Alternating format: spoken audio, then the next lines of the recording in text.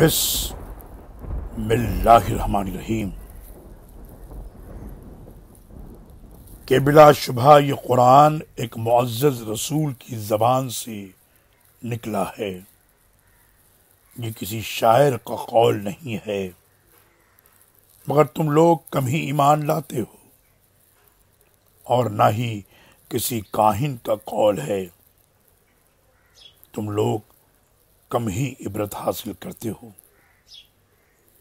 नाजिल शुदा है, रब्बुल आलमीन की तरफ़ से है।